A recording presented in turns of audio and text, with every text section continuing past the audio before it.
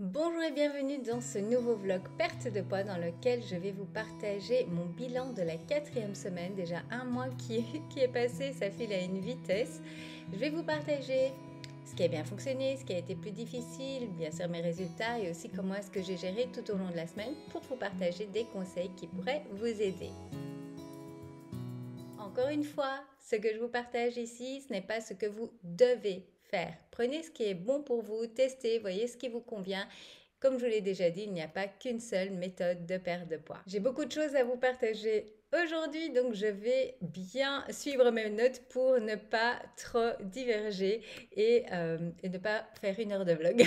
donc comment je me suis sentie pendant cette semaine? Cette semaine, tout s'est bien passé, j'ai bien euh, suivi mes habitudes, j'ai bien pris soin de moi par ma nutrition, mon sport ma récupération en respectant mes heures de sommeil et j'ai chaque jour eu mon petit moment pour moi. D'ailleurs, c'est un sujet important dont on n'a pas encore parlé et donc le fait de prendre du temps pour soi, c'est en fait super important. Je sais que c'est pas toujours évident de trouver le juste équilibre entre notre vie professionnelle, notre vie de maman, l'entretien de son intérieur, les courses, le ménage, les les lessives, voilà, les repas, tout ce qui fait partie de la vie et nous prendre du temps pour nous. Mais c'est vraiment important. Et pour tout vous dire, cela ne fait pas si longtemps que moi-même, j'y mets une priorité et c'est toujours quelque chose sur quoi je travaille. Mais c'est vraiment un point indispensable, non seulement pour atteindre vos objectifs, mais aussi tout simplement pour vivre une vie dans laquelle vous êtes plus heureuse. Vous n'avez qu'une seule vie. Et il est de notre responsabilité de prendre ce temps pour nous. Personne d'autre le fera à notre place et ça a un impact également sur notre santé. Ce qui a bien fonctionné pour moi cette semaine, j'ai bien suivi toutes mes habitudes, celles que je vous ai partagées dans le premier vlog je vous mettrai le lien en dessous si vous ne l'avez pas vu, qui inclut ma nutrition, mon activité physique, mais aussi le fait de prendre du temps pour moi euh, chaque jour. Pour faire le suivi de mes habitudes, j'utilise mon tableau de suivi d'habitude. Cet outil, je l'adore, je le trouve super motivant et je voulais imprimer. J'ai une masterclass dans laquelle je vous explique comment créer ce tableau de manière personnalisée pour vous en prenant euh, les objectifs qui sont importants pour vous. Je vous partage aussi mes meilleures astuces et les erreurs à éviter pour que vous ayez directement les bienfaits par rapport à l'utilisation de cet outil. Encore une fois, j'utilise depuis le début, j'utilise régulièrement et ça fait vraiment la différence pour moi. Euh, c'est super agréable pour le cerveau et c'est un super outil de motivation. Donc c'est tout simplement un tableau comme ceci. Si vous rejoignez la masterclass, vous l'aurez. Et donc, on met ses habitudes ici.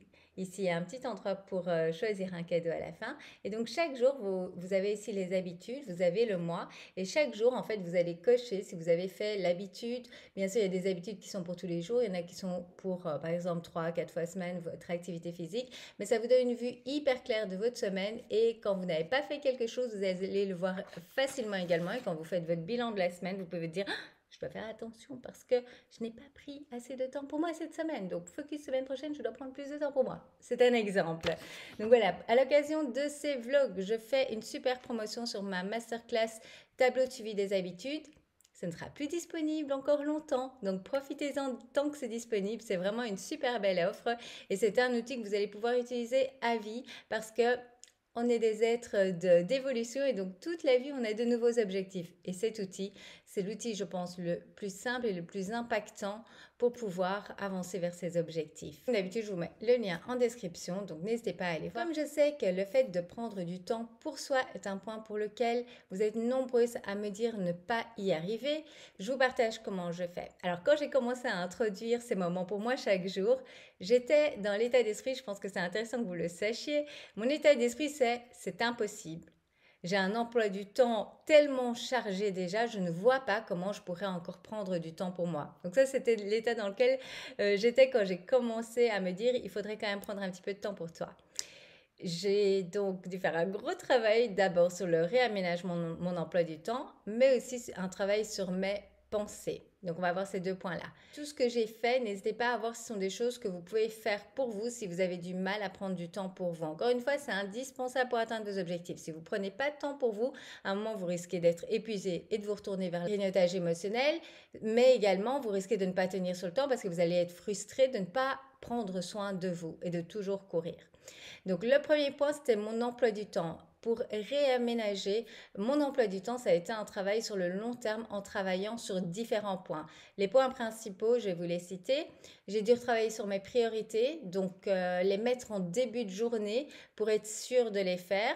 J'avais tendance à d'abord euh, aller vers le plus urgent et puis euh, mettre les priorités plus bas, ce qui faisait que je n'arrivais pas à les faire. Et comme sur les priorités, c'était important. Donc, je les, je les, ai mises en début de journée. Voir ce qui est vraiment important et ce qui peut être délégué. Ça, c'est le deuxième point. Donc, c'est ce qu'une autre personne pourrait faire à votre place. Alors, ça, pour moi, ça n'a pas été facile. Parce que, bien sûr, quand on fait les choses soi-même, elles sont exactement comme on souhaite qu'elles soient faites. Quand quelqu'un d'autre les fait, ben, ça peut être différemment fait. Donc, ça, c'est également dans le couple. Hein. Là, je parle vraiment, euh, bien sûr, ça va être au niveau de votre business, votre activité professionnelle, mais même dans le couple, c'est demander de l'aide, mais aussi être indulgente dans le fait que parfois l'autre ne va pas faire exactement comme vous vous auriez fait, mais c'est ok, c'est pas grave en fait. Donc euh, voyez ce qui est vraiment important et c'est cela que vous devez euh, faire en priorité. Donc ce qui est moins important que, que d'autres personnes peuvent vous aider, n'hésitez pas à demander de l'aide. Le troisième point, c'est regrouper le même type d'activité afin d'être plus productif. Ça, ça m'a beaucoup aidé également et inclure dans mon planning euh, de la journée un moment rien que pour moi. En fait, c'est un rendez-vous avec moi-même. C'est noté dans mon agenda. Et quand vous le notez dans votre agenda, il faut vraiment le noter du style, c'est un, rendez-vous VIP euh, que vous ne pouvez pas rater. Donc, c'est comme ça que j'ai commencé à prendre du temps pour moi. Si c'était pas planifié, ça passait à chaque fois à la trappe. La réorganisation de mon planning s'est faite sur plusieurs semaines, plusieurs mois, parce que j'ai réajusté au fur et à mesure afin de trouver la bonne version pour moi. J'ai aussi dû l'ajuster suite à notre départ des Philippines, à l'arrivée en Belgique, à notre nouveau rythme de vie, la vie scolaire, etc. des enfants. Donc, euh, n'ayez pas peur de retravailler votre planning. Ce n'est jamais parfait au début. Moi, j'étais quelqu'un, je suis très carré, j'aime bien quand les choses sont parfaites et tout. Et euh, j'ai dû apprendre à lâcher du lest et à et être en accord avec ça. Et pour tout vous dire, mon planning, c'est encore quelque chose que je travaille régulièrement.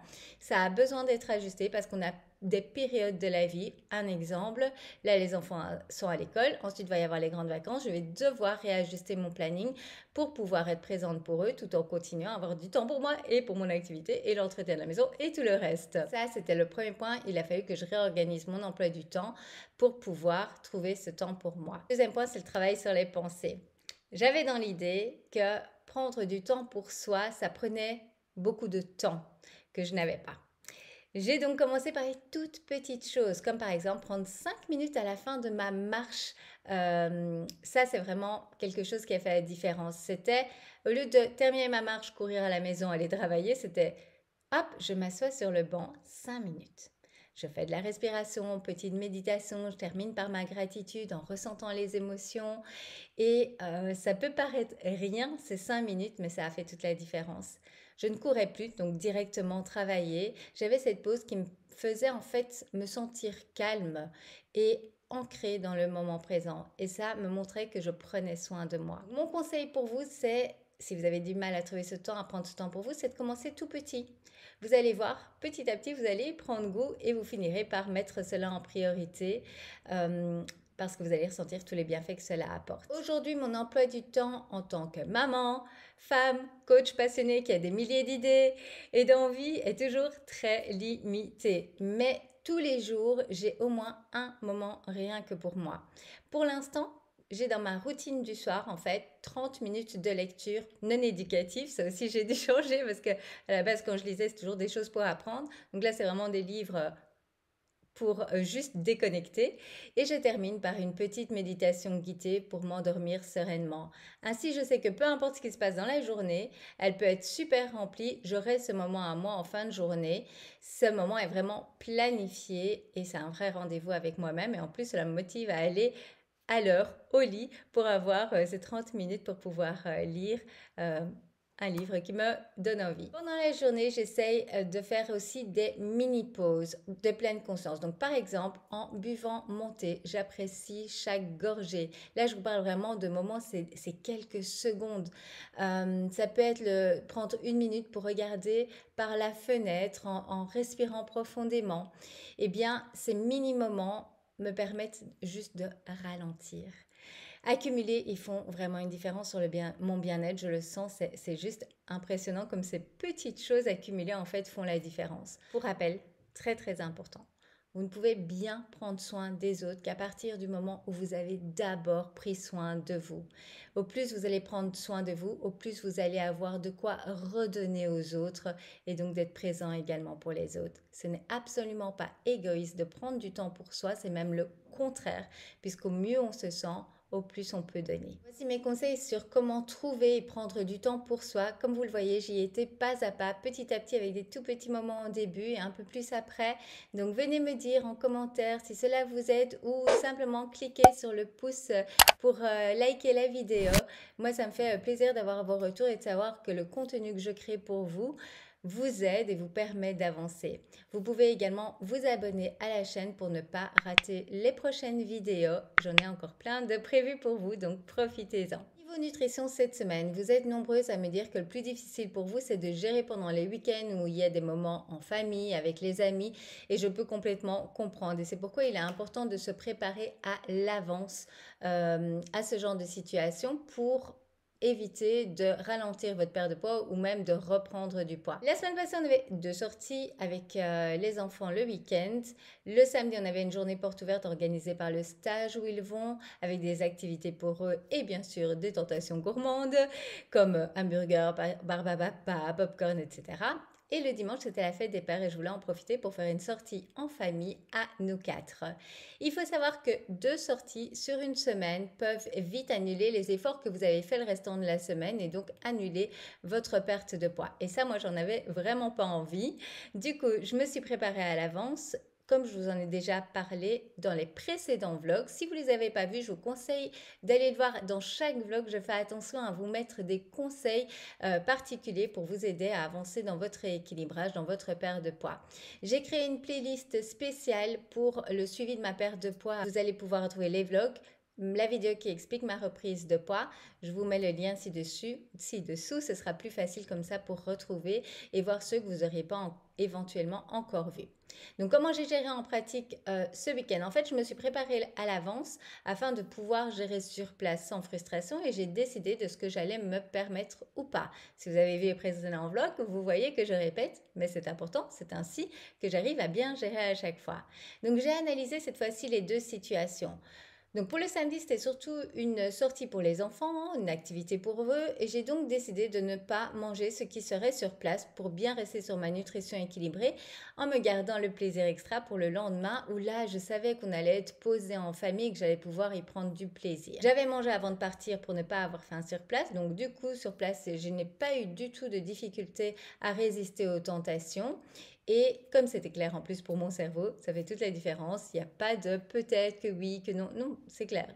J'ai mangé avant, je n'ai pas faim, donc je ne mangerai pas sur place. J'étais focus de passer en fait du temps de qualité avec les enfants et leur activité. D'ailleurs, Inès a fait ses premiers euh, premier pas en vélo toute seule. C'était euh, c'était trop mignon. Niveau activité physique, pour ce jour, ne sachant pas si j'allais avoir assez de pas sur ma journée euh, avec les enfants, j'ai décidé en fait tout simplement de faire déjà quelques pas sur mon tapis de marche le matin euh, pendant que je travaillais. Ben, résultat, j'ai fait le double de pas que je me suis fixé minimum par jour. Donc j'étais super contente. N'oubliez pas de toujours prévoir à l'avance pour pouvoir suivre votre, vos objectifs journaliers. Le dimanche, pour ce moment convivial en famille, j'ai décidé de me faire plaisir, mais sainement. Par rapport à mes objectifs et comment je me sens pour l'instant, je ne désirais pas en fait aller vers des gros écarts bien sucrés, bien gras, qui je sais ensuite vont me mettre dans la difficulté et me redonner beaucoup d'envie. Donc j'ai été sur le site euh, de l'établissement où on allait euh, pour la fête des pères et j'ai tout simplement regardé le menu pour décider à l'avance ce qui allait vraiment me faire plaisir. J'ai choisi un beau toast au saumon accompagné de sa salade, j'en avais trop envie. Mais sur place, je pense que ma commande n'a pas été bien comprise et donc du coup, je me suis retrouvée avec un sandwich au saumon. À cet endroit-là, leurs sandwichs sont juste énormes. D'ailleurs, ils les coupent même déjà en deux. Donc, ce que j'ai fait, c'est que j'ai partagé tout simplement la moitié avec les enfants. Ça m'a fait plaisir. Je n'ai pas eu faim après parce que j'avais suffisamment avec la moitié du sandwich. Il était très bon. J'avais apporté avec moi monter. Donc sur place, je demande de l'eau chaude et je fais monter pour accompagner le repas. Pour moi, c'est vraiment la combinaison parfaite. Ma famille avait choisi des gourmandises, on va dire un peu plus caloriques, les choses justement euh, qui ont tendance à m'attirer et qui étaient absolument délicieuses. Donc pour ne pas créer de frustration, qu'est-ce que je fais? Je goûte un petit bout chez chacun et j'ai de la chance. Ils aiment bien partager avec les enfants, avec, euh, avec aussi. On a toujours aimé cela, prendre plusieurs choses et partager pour euh, goûter à tout. Ainsi, j'ai trouvé le juste équilibre en respectant mes envies, en prenant soin de ma nutrition et en restant focus sur mes objectifs tout en partageant de beaux moments en famille. Et ça n'a eu aucun impact euh, sur ma balance car le restant de la journée était équilibré et on reviendra au résultat tout de suite. Donc mes conseils pour la gestion des week-ends, des sorties, des invitations, c'est de vous préparer à l'avance pour bien gérer sur place de manière sereine et d'ajuster votre plan d'action en prévision. Et n'oubliez pas de vous rappeler à chaque fois pourquoi vous faites ces choix et comment vous allez vous sentir quand vous aurez atteint votre objectif. Et au plus vous allez prendre du temps pour ressentir les émotions de comment vous allez vous sentir une fois que vous aurez atteint vos objectifs, eh bien je peux vous dire que c'est une superbe motivation. Ce qui a été difficile cette semaine, Ma maman a apporté à la maison des tentations. Elle a apporté des bonbons sûrs que j'adore et des crêpes petit péché mignon. Elle connaît notre gourmandise et voulait tout simplement nous faire plaisir. C'est le genre de situation auquel je fais attention parce que je sais que ça peut vite ajouter des calories, mais aussi que ça peut me redonner des envies et je ne veux pas me mettre en difficulté. En plus du fait que je savais, donc ça c'était le mercredi, je savais que le week-end on avait deux sorties à gérer. Donc comment j'ai géré, quand ma maman a rapporté ces choses-là, donc tout d'abord les bonbons sont cachés dans une armoire où je ne vais pas souvent, ainsi je ne puisse pas dans ma réserve de volonté et c'est comme s'ils n'existaient pas. Pour euh, les enfants d'ailleurs c'est très bien de faire cela ainsi parce que c'est la même chose pour eux en fait. Ne laissez pas à portée de vue parce que s'ils voient les tentations, c'est la crée de l'envie. Et quand c'est dans l'armoire, ça limite qu'ils les oublient, en tout cas chez nous. Et donc de temps en temps, ils nous demandent un bonbon, ils peuvent se servir, mais ne pas laisser traîner. Pour les crêpes, alors elle, elle me donnait vraiment envie. Donc euh, j'ai tout simplement dit à ma maman que j'en mangerais plus tard euh, parce que j'avais déjà pas faim sur le moment même et je l'ai remercié pour son attention. Avant d'en manger, j'ai été voir sur MyFitnessPal le nombre de calories juste pour savoir si j'allais m'en permettre une ou deux et pouvoir incorporer ça dans euh, mon équilibre de la journée. J'ai ensuite pris le temps de savourer ma crêpe à mon aise, en pleine conscience, en prenant beaucoup, beaucoup de plaisir. C'est une chose que j'aurais pas su faire si je l'aurais mangé au moment même en gérant les enfants, la cuisine, etc. Donc ça, c'est aussi un conseil euh, que je vous donne, c'est quand vous faites un plaisir extra, essayez de, pouvoir en profiter et donc d'être plutôt dans le calme et de manger à votre aise. Ça va faire toute la différence parce que vous aurez vraiment apprécié chaque bouchée et ce n'est pas oh je l'ai vite mangé, oh c'est déjà fini et j'en ai encore envie. Je note pour cette semaine comme réussite le fait d'avoir bien géré les deux sorties du week-end, d'avoir été active tous les jours. Ce que j'ai fait cette semaine, j'ai essayé d'incorporer le fait de bouger un peu plus au quotidien en fait, que ce soit par exemple en allant chercher les enfants à l'école à pied, ça me fait euh, quelques kilomètres euh, pour aller les chercher, j'en profite, il fait beau, ou en faisant du tapis de marche à la maison en travaillant. On y est, je vais vous partager mes résultats de cette semaine et également le bilan sur les quatre premières semaines, le premier mois. Donc pour rappel, la première semaine j'avais perdu 2,3 kg la deuxième semaine, j'avais repris 300 grammes. La troisième semaine, j'avais perdu 500 grammes. Et cette semaine, j'ai perdu 1 kg. Donc au total, j'ai perdu sur ces quatre premières semaines 3 kg 6. Et cela en gérant, vous avez vu, plusieurs invitations, plusieurs sorties, ce n'était pas prévu à la base qu'il y avait autant de sorties euh, quand j'ai recommencé euh, ma perte de poids. Mais donc vous voyez bien que c'est possible de se faire plaisir, de faire des choix, de faire des sorties et d'avoir un super beau résultat. Ces 3,6 kg, en plus je les ai perdus en graisse et ça, ça me rend vraiment hyper heureuse parce que mon objectif en fait pendant cette perte de poids, c'est vraiment de euh, conserver ma masse musculaire et donc de perdre les kilos en graisse, ce qui se voit également beaucoup plus au niveau de la silhouette. Pour cela, qu'est-ce que j'ai fait? J'ai augmenté mon apport en protéines euh, dans ma journée et mon activité physique. Juste pour rappel, une bonne perte de poids, c'est environ 500 grammes par semaine.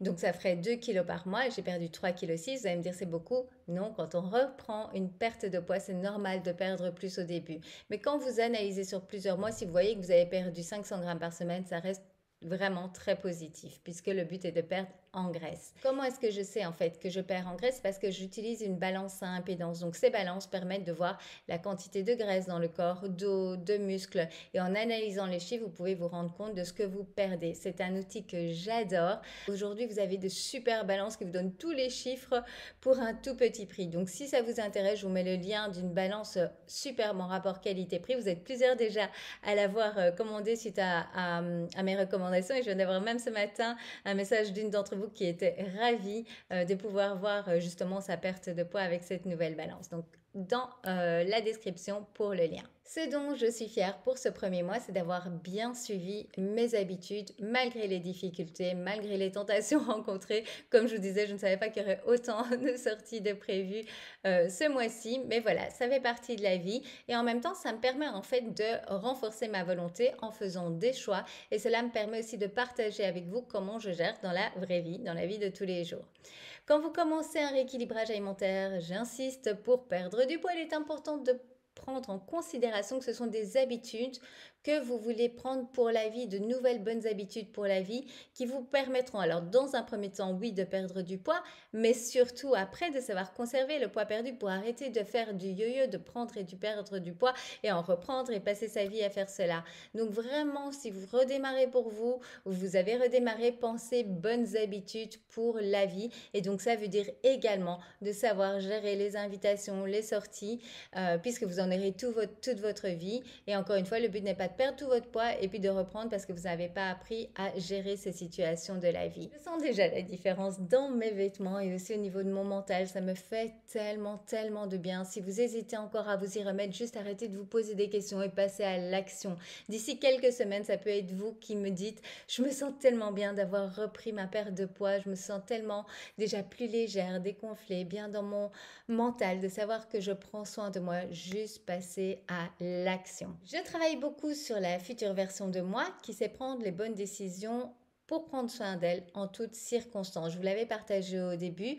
C'est le gros point en fait sur lequel je travaille euh, pendant cette perte de poids, c'est de euh, trouver en fait la manière de gérer, même quand les situations de la vie ont tendance à s'accumuler et donc pour éviter justement de reprendre des kilos parce que je me serais sentie dépassée par la vie.